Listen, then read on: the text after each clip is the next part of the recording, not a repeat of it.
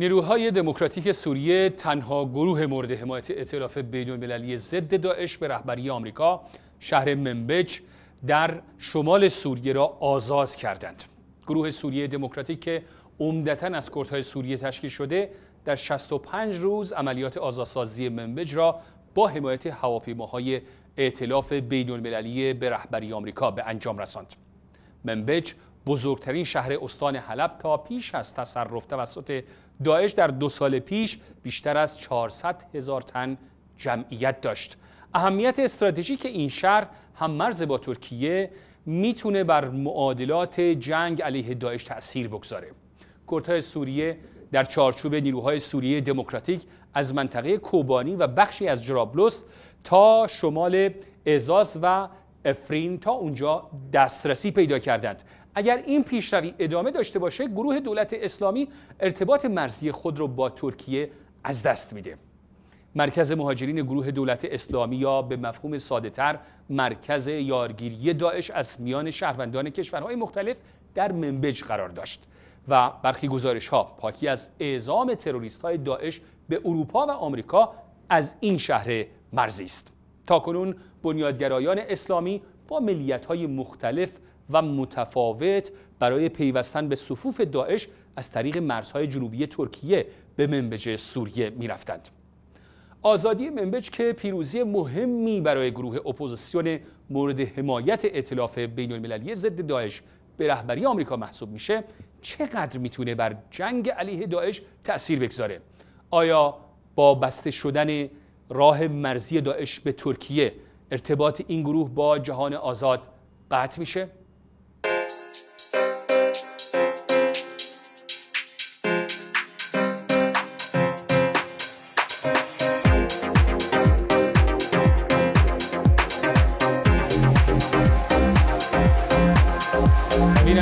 افق دو صدای آمریکا هستید برای بررسی آزادی شهر منبج شتاب گرفتن آهنگ نابودی داعش. در خدمت دو میهمان گرامی دکتر علیرضا نوریزاده روزنامه‌نگار و تحلیلگر سیاسی از لندن و دکتر هوشنگ حسن یاری کارشناس امور نظامی کالج سلطنتی نظامی کانادا از کینگستون آنتاریو کانادا. هر دو میهمان گرامی خوش اومدید به برنامه امشب افق نوپیش از آغاز بحثمون اجازه بدید گفتگوی کوتاهی داشتم با احمد محمد گزارشگر شبکه دیدبان حقوق بشر سوریه از شهر منبج در مورد تازه ترین وضعیت این شهر. بالنسبه للوضع في مدينه منبج يعني داعش در شمال منبج فقط در دو منطقه باقی مانده است. یعنی در منطقه سراب و منطقه جرابلس مناطق دیگر آن به کنترل کامل نیروهای سوریه دموکراتیک درآمده در مناطق محاصره شده داعش از غیر نظامیان به عنوان سپر انسانی استفاده می کند. 60 تا 70 هزار نفر در مناطق تحت کنترل داعش در منبج گیر افتادند. داعش کنترل جرابلس را هنوز در دست دارد. منبج 35 تا 40 کیلومتر با مرز ترکیه فاصله دارد و هنوز داعش در حومه حلب شمالی هم با ترکیه مرز مشترک دارد. نیروهای سوریه دموکراتیک میکوشند تا جرابلس را از پیکارجویان داعش پاکسازی کنند. در دو ماه گذشته 550 غیر نظامی منبج در جریان حملات هوایی نیروهای ائتلافی بین المللی جنگ و یا مینهای کار گذاشته شده توسط داعش کشته شدند. بسیار خوب اجازه بدید آیه دکتر نوریزاده اولین پرسش رو با شما شروع کنم این پیروزی در منبج پیروزی تنها گروه مورد حمایت ائتلاف به رهبری آمریکا می‌تونه چه تأثیری بر بقیه راه یعنی بر بویژه آزادی رقه داشته باشه. با درود به شما آقای دکتر حسن یاری و بینندگان صدای آمریکا. همونطور که خودتون اشاره کردید موقعیت سوق منبج بسیار مهمه. اصولا اگر دقت بکنید در اون مداری که حلب هم توش قرار می‌گیره امروز مخالفان بشار اسد موفق شدن راه ارتباطیشون رو آزاد بکنن و بخشای بزرگی از حلب دستشون بیفته. این از یک طرف. از این طرف نیروهای جبهه‌ای که آمریکا خیلی زحمت کشید برای آموزش اینها. روز اولی که انقلاب سوریه شروع شد مسالمت آمیز بود. وقتی رژیم سوریه دست به اسلحه برد طبیعتا مردم عادی آمدن و اسلحه به دست گرفتن. نه آموزشی بود نه آمادگی نظامی داشتن. این شد که گروهی مثل داعش با برنامه ریزی با تمرین با آمادگی اومدن و عملا صحنه رو در اختیار گرفتن. امروز وضع متفاوته. اولا داعش با جنایاتش هیچ زمینه برای خودش باقی نگذاشته. از هیچ نوع حمایت محلی و منطقه‌ای برخوردار نیست. بنابراین پیروزی که کردها اول در کوبانی داشتند و حالا در منبج بسیار مهمه. روحیه رو بالا برده معنویات مردم سوریه و اون منطقه رو. منبج شهر بسیار مهمه. یه نقطه استراتژیکه. و اگر این همونطور که اشاره کردید به جلو رانده بشه و ما شاهد بازپس گرفتن مناطقی باشیم که حد فاصله بین مرز ترکیه و حلب و مناطق تابعش هست در اون صورت واقعا داعش رو باید شماره های معکوس رو براش آغاز کرد. ببینید که در عراق هم در عرض چند ماه یک سوم یا بیشتر دو سوم از مناطقی که در اختیارشون بوده آزاد شده. من بسیار این مسئله رو مهم می‌دونم. به نظر من یک حماسه است و اگر اینا جرابلس هم آزاد بکنن تمام استان حلب تقریبا آزاد میشه. بخشی در اختیار اپوزیسیون ارتش آزاد سوریه همینطور جبهه فتح که همون در واقع نیروهای اسلامی هن که حالا میگن معتدل شدن و طبیعتا در این قسمت هم کردها و نیروهای دموکراتیک و سکولار هستند بسیار خوب. آقای حسن ریاری شما چه دیدگاهی دارید؟ ببینید با اینکه با توجه به اینکه ترکیه در آن سوی مرز در گذشته دست کم نشون داده که چندان راضی نیست و تمایلی نداره که با کردها هم مرز باشه. و شاید به نوعی هم مرز بودن با داعش رو ترجیح میده. در حال حاضر در اون منطقه جنگ هست. فکر می‌کنید بعد از وضعیتی که در ترکیه یعنی شکست کودتای 15 ژوئیه ترکیه سیاستش رو عوض خواهد کرد؟ یعنی به نوعی اجازه خواهد داد که کردها به تمامی این منطقه منطقه مرزی دسترسی پیدا کنند؟ داده به نظر من از نظر استراتژیک بسیار مهمه. منتها این یک قدم هرچند بسیار بزرگی است ولی می‌تونه به عنوان دومین قدم مهم به حساب بیاد بعد از کوبانی هارا این منطقه. در مورد ترکیه ترکیه به تب یکی از مشکلات عظیمی که داره برخورد با نیروهای کرد و یا به طور کلی جامعه کرد ترکیه و به خصوص با گروه های مسلح ضد دولت ترکیه است. در نتیجه هرگاه و در هر جایی چه در خود ترکیه چه در سوریه عراق و یا حتی ایران کردها بتوانند قدرتی به دست بیارن این خطر رو برای دولت ترکیه بیشتر می‌کنه. در نتیجه من خیلی خوشبین نیستم به اینکه دولت ترکیه با دیده مثبتی به این مسئله نگاه بکنه به خصوص که در شرایط فعلی ترکیه این تصفیه حساب های بسیار بسیار مهمی که در حال انجام شدن هستند و به نوعی به تضعیف نیروهای مسلح ترکیه انجامیدن و خواهند انجامید. این بتونه خیلی مثبت ارزیابی بشه از دید دولت ترکیه. منتها اگر به سوریه برگردیم این پیروزی مهم هست و به نوعی می شود گفت که این پیروزی در مسابقه ای قرار داره در مقابل نیروهای حامی روسیه ایران و به خصوص دولت سوریه که در حال از دست دادن بخشای مهمی از شهر حلب هستند. در نتیجه این دو ائتلافی که در جنگ سوریه علیه نیروهای مختلف در, در, در این کشور در حال جنگیدن هستند به دو راه کاملا مخالف میرن و بایستی دید که این پیروزی نیروهای مورد حمایت اعتراف آمریکا این پیروزی چه تأثیری خواهد داشت بر اونچه که امروز در حلب میگذره و به خصوص این گروه های جهادی که می‌روند تا اینکه احتمالا حداقل محاصره قسمت شرقی حلب رو از بین ببرن و احتمالا بر بخشای از بخش غربی حلب دست پیدا بکنه بله بسیار خوب. آقای نوریزاده صحبت های آقای حسنیاری رو شنیدید و نکته اساسی این هست که اگر ترکیه تمایلی نداره به ادامه این روند یعنی به نوعی کنترل کردها بر مرزهای مشترکش با سوریه. با توجه به مسئله که خودتون اشاره کردید همین تغییر به نوعی ماهیت و عملکرد برخی گروه های اسلامی افراطی در اون منطقه. مثلا جبهت نصره که از ظاهرا میگه از القاعده جدا شده.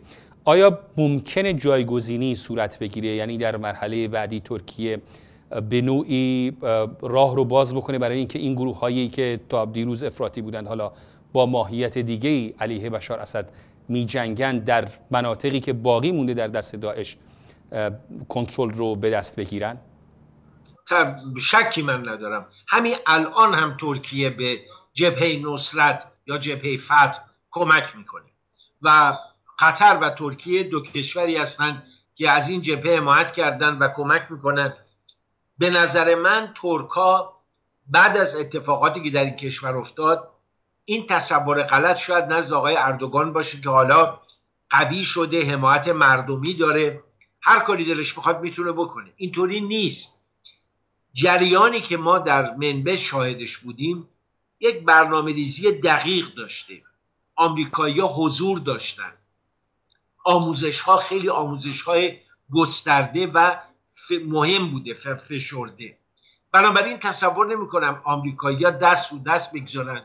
که ترکا بیان جبهه نصرت رو بخواد جانشین داعش بکنه ارتش آزاد سوریه هم به هر حال کم قوت نیست. الان اتفاقاتی که داره میفته به خصوص در علب پرچمشون رو می‌بینیم بالا رفته. من تصور می‌کنم که آمریکایی‌ها در پس پرده این توافق را با روسها دارند که اجازه ندن بدیل حافظ اسد یه گروه مثلا کمتر اسلامی باشه. بشار اسد تمام مدت هدفش این بود. به دنیا بگه یا من یا داعش. الان که داعش داره کم فروغ میشه باید کاری کرد که بشار اسد نتونه بیاد بگه حالا یا من یا جبهه نصرت. بنابراین یا باید این جبهه اساسا تغییر جهت بده یا اینکه به گمان من ما بعد از تازه شر داعش کنده شدن گرفتار درگیری خود گروه های مخالف بشار خواهیم بود. گروه هایی که سوریه از اون حمایت می‌کنه و قطر گروه هایی که عربستان سعودی حمایت می‌کنه مثل ارتش آزاد و گروه هایی که آمریکایی ها حمایت می‌کنن مثل این مجموعه دموکرات های کرد و عرب. بنابراین اون وقت صحنه خیلی به هم ریخته خواهد شد. ولی من گمان نمی کنم ترکا در پایان بتونن نقشه های خودشون رو پیاده کنن. کردها یک عروسک های دستاموزی نیستن. که باشون بشه بازی کرد. لیاقت شجاعت اقتدار کاردانی و صحنه آرایی خودشون رو نشون دادن. چه در عراق؟ اگر عراق کرکوک هنوز داره به خاطر کردهاست اگه کوبانی آزاد شد کردها بودن. منبج رو کردها آزاد کردن. بنابراین نمیشه در معادله اینها رو به حساب نیامد. بله. آیا حسنیاری در این بین فکر می‌کنید خودتون اشاره کوتاهی داشتید به وضعیتی که جبهه‌ای که در حلب باز شده و مخصوصا اینکه در چند روز گذشته محاصره حلب که توسط نیروهای بشار اسد و نیروهای حامیش حزب الله سپاه قدس ایران نیروهای افغان و غیره شکسته شد. ارتباطی می‌بینید با پیروزی نیروهای مورد حمایت ائتلاف رهبری آمریکا در نزدیکی همون منطقه با به نوعی شکستی که در چند روز گذشته نیروهای بشار اسد و حامیانش در حلب متحمل شدن من به طور مستقیم رابطه ای نمی بینم ولی رابطه ای که می شود تصور کرد این هست که نوعی مسابقه بین گروه های مختلف در سوریه در حال انجام شدن هست. چه گروهی موفق خواهد بود سرزمین های بیشتری رو کسب بکنه که احتمالا اگر که دوباره گفتگوهای صلح در ژنو پیگیری بشه این گروه ها بتونن با دست پرتری به, دور میز مذاکره بنشینن. از این نظر. ولی به طور کلی این گروه ها همونطور که آقای نوریزاده اشاره کردن هم در گذشته هم حال و هم در آینده به طور قطع به جان همدیگر افتاده و خواهند افتاد. به خاطر اینکه یکی از خصلت های قدرت این هست که انسانها رو تمامیت خواه می‌کنه. یعنی اینکه هر کسی قدرت رو داشته باشه در این شرایط غیر دموکراتیک البته خواستار این هست که نیروهای دیگر رو از بین ببره تا اینکه قدرت خود رو مطلق بکنه. در نتیجه بایستی انتظار داشت که این ائتلافی که فعلا به دلیل پرقدرتتر بودن جبهه فتح در بخش شرقی حلب به وجود اومده این اعتلاف از هم پاشیده بشه حالا یا تحت فشار بمباران های روسیه و نیروهای متحد بشار اسد و یا اینکه هرچه به قول فرانسوی ها با خوردن اشتها بیشتر میشه هرچی که اینها بتونن بخش های مهمتری رو از شهر حلب احتمالا به دست بگیرن در نتیجه خواستار این خواهند شد که اقتدار خود رو گسترده تر بکنن و در نهایت به جان همدیگر بیفتن بنابراین رابطه مستقیم چند ارگانیکی به نظر من بین این دو جریان نیست مگر اینکه هر دو جریان در سوریه در حال شدن هستند.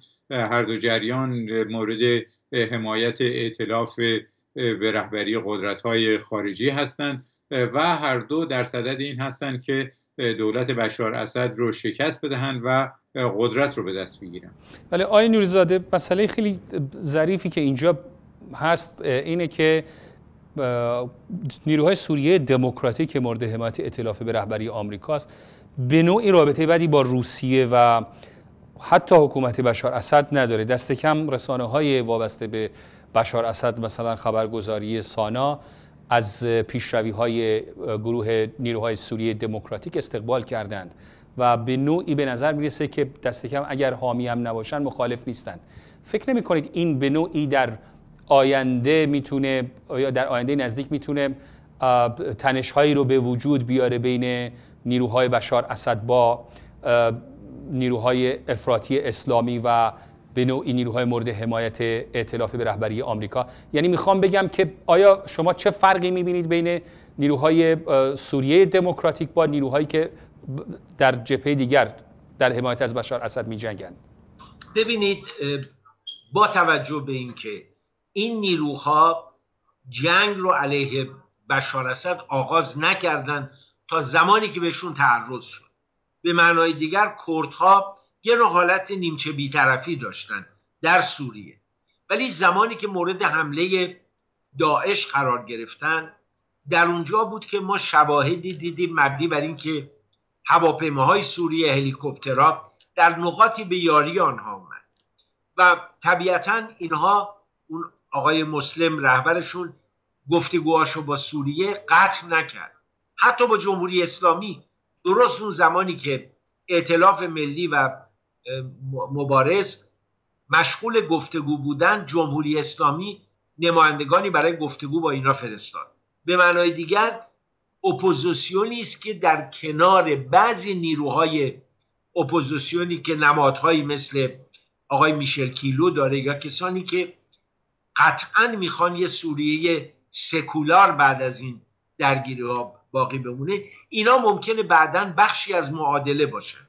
مهم نیست که زمانی رابطه با دولت سوریه داشتن یا هنوزم شعرت معاویه یا در واقع پلای ارتباطی رو همه رو خراب نکردن. میشه تصور کرد. به نظر من کردها خطر داعش رو از خطر رژیم بشار اسد بیشتر می‌دونن. و بر این باورن که الان دشمن اصلی اونها داعشه. باید با داعش و افرادگری اسلامی مبارزه کرد چون اینا هیچ حقی براشون قائل نیستن. حداقل بشار اسد تا یه حدی حاضر حقوق اینا رو بخصوص در شرایط فعلی به رسمیت بشناسه. اینکه فردا چه میشه باز باید برگردیم به همون چارچوب کلی. این همه تضاد بین اپوزیسیون لاجرم در زمانی کاملا آشکار میشه. حالا جبهه نصرت و داعش با هم میجنگن یا ارتش آزاد با داعش.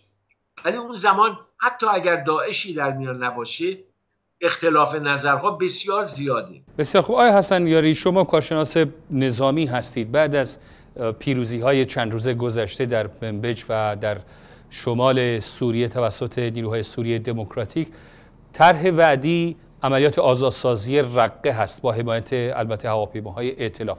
فکر می‌کنید چقدر طول بکشه؟ فکر می‌کنید داعش چقدر مقاومت می‌کنه در رقه ببینید داعش تا اون حدی مقاومت می‌کنه که ببینه امکانی برای ماندن داره.